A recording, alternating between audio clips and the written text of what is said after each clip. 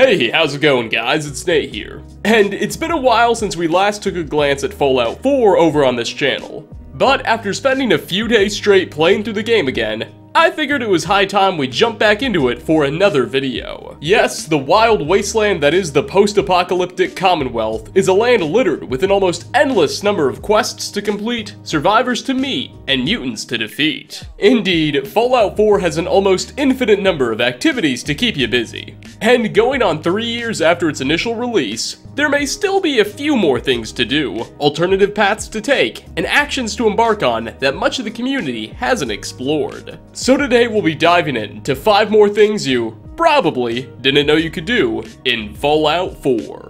Starting off, during the Brotherhood of Steel quest, Liberty Reprimed, in which the faction sends the player on a mission to find materials and recruit individuals to help reconstruct the Great Automaton, Liberty Prime, you'll eventually find yourself at Sentinel Site Prescott, an old pre-war US bomb storage facility now located in the Glowing Sea. The Elders want you to secure the location for the Brotherhood, so that they could use its supply of MK-28 nukes as ammunition for Liberty Prime. This part of the mission functions like a typical dungeon crawl, as a sole survivor fights their way through the structure, clearing out onslaughts of feral ghouls and pre-war traps and turrets throughout your journey. Eventually you'll reach the control room and find Sentinel Site Prescott's mainframe terminal, which you'll need to activate to fully disable the area's defensive systems and allow the BOS to take control. Trouble is, it'll be guarded by a fellow named Brother Henry, a zealous child of Atom, as well as his Assaultron, Atom's Wrath, who apparently got here first. Henry will inform you that this area is now property of the children of Atom, and no one else, demanding that you leave. You'll have to either pass a speech check, or just murder him and his robot to death in order to finish this part of the quest. However, if you've installed the Far Harbor DLC and decided to cast your lot in with the Children of Atom and join that faction in the expansion, a new dialogue option with Henry will become available, wherein you can tell him that you're a follower of Atom as well, and he'll let you pass, not wanting to disturb your pilgrimage or whatever. State your purpose, stranger. You walk on Atom's hallowed ground. It's all right, brother. I am a child of Atom too. I'm part of a church up north, the Nucleus, near a town called Far Harbor. Far Harbor. You've seen Atom's holy veil. But you have traveled so far, I apologize. I will not keep you from finishing your pilgrimage. Take this, and prepare to enter his inner sanctum. I found this interaction to be really neat, as the Far Harbor DLC came out long after the vanilla game, obviously. So it was kind of cool that Bethesda either brought back old voice actors, or thought ahead of time and had the voice actors say these lines in preparation for the release. Anything for immersion. Next on the list, before we completely leave Far Harbor, Erickson is a friendly super mutant we can meet on the island. He lives out of the wreckage of an old crashed pre-war plane, and notably has taken a liking to the practice of raising dogs, which he'll offer to sell to the sole survivor as companions. Alongside Strong, he's one of only two super mutants in the entire game that won't try to rip your head off on sight. It's unclear what exactly it is that makes Erickson non-hostile, though most suspect it's either the fog or the Vim soft drink. Regardless, if the player has Dogmeat as an active follower during your first meeting with Erickson, a unique little interaction will be triggered, wherein the gentle giant not only offers some special dialogue, questioning you about your canine, but even gives you a gift to use on Dogmeat in the form of a blue bandana. That's a nice looking dog you got there. Where'd you find him? To be honest, he kind of found me. Uh, yep. Certainly had a few follow me home before. Here, something for your pup. Did you need something? I was just passing through. Fine. Other than Dogmeat, the only other companion Erickson will have an interaction with is Old Longfellow. But he won't give you any cool toys when you're in his company. Coming in number 3, speaking of companions, Deacon is the lovable human field agent working for the railroad.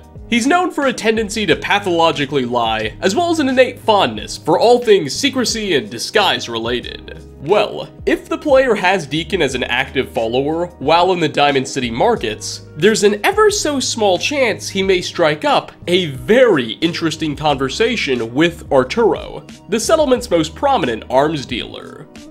Geiger counter, bud? Mine's in the shop. You the guy about the article?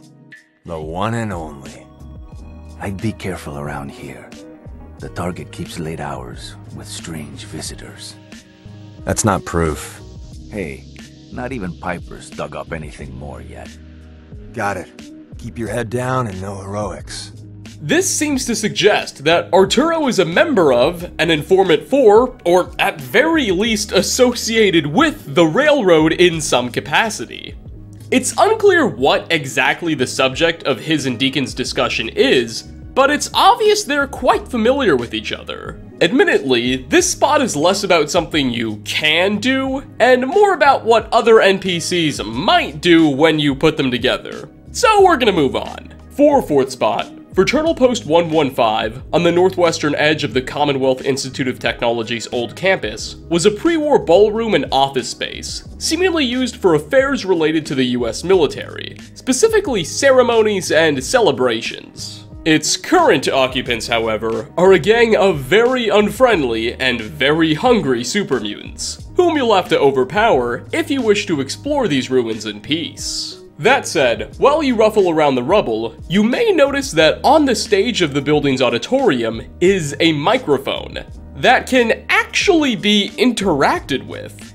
If you do so, regardless of your character's gender, you'll simply say, War, war never changes.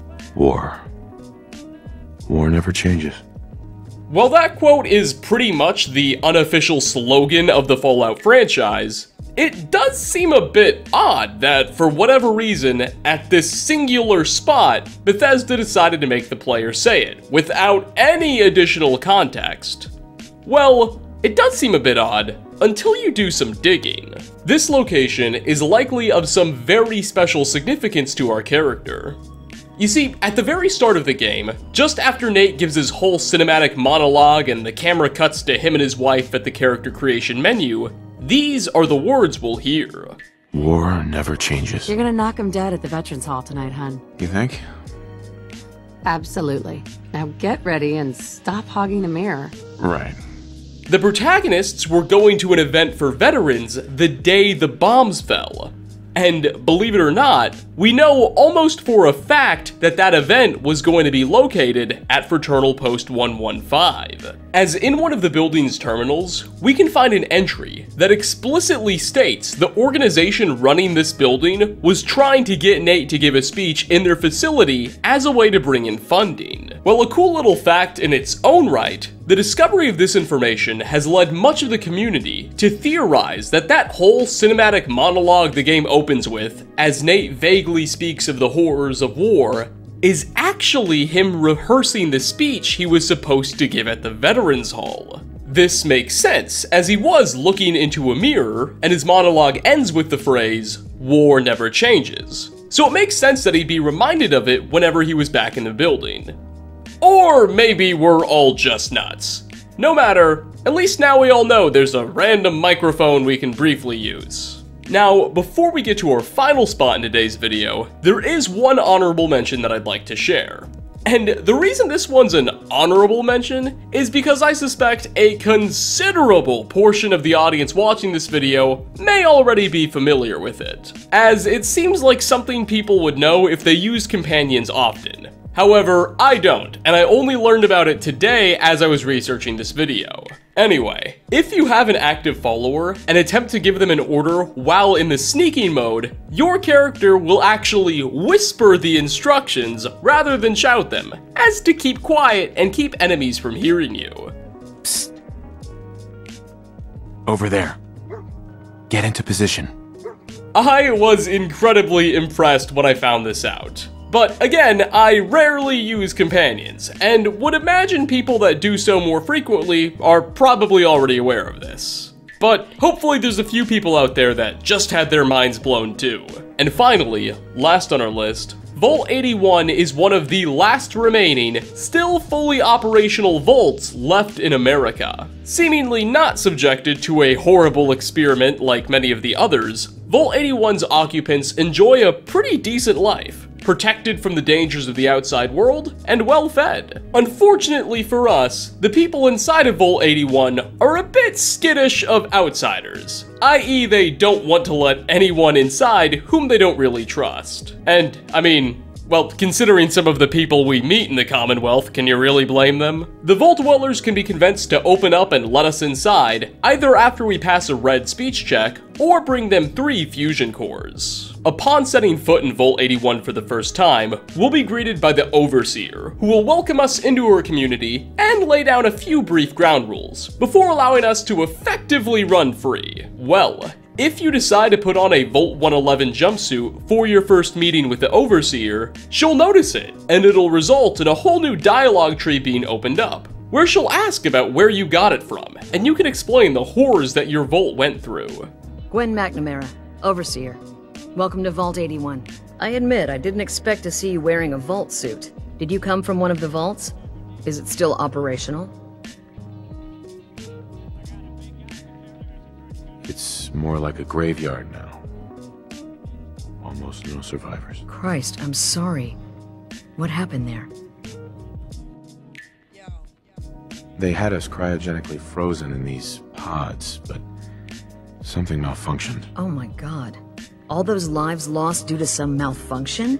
That's unacceptable. I suppose we've been lucky. Here, we pride ourselves on having maintained a successful vault over these past two centuries. Unfortunately, she doesn't give us any cool toys like Erickson does, but still, dialogue's nice too, I guess. But with that, we are going to wrap up.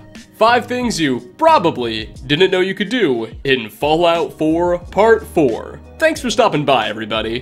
Which of these facts or details did you already know or find to be the most interesting? And what hidden lines of dialogue, special quest endings, or hidden interactions do you know of that I've yet to cover?